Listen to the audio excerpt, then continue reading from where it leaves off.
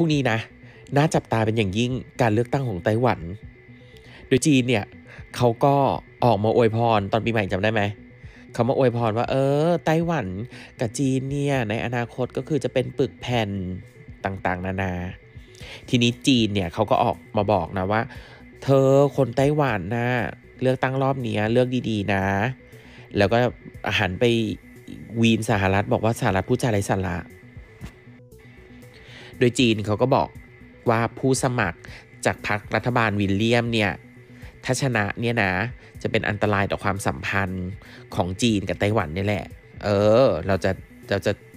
แตกกันนะเพราะคนละแนวทางไง ซึ่งสหรัฐเนี่ยเขาก็พูดนะ พอเขาเห็นสารวันปีใหม่เขาก็บอกว่า จีน จีนเธอต้องหยุดหยุดไปแซงชั่น หยุดไปแทรกแซงนะ ปล่อยให้ประเทศเขาเลือกตั้งกันไป อย่าไปยุ่ง อย่าไปก่อความวุ่นวาย อย่าไปก่อความตึงเครียดก่อนวันลงคะแนน โดยพรรค DPP เนี่ยก็คือพรรคประชาธิปไตยก้าวหน้า ที่ชนะมารอบก่อนหน้านี้นะนะ ในไลเนี่ยแคนดิเดตเนี่ยเขาก็บอกว่า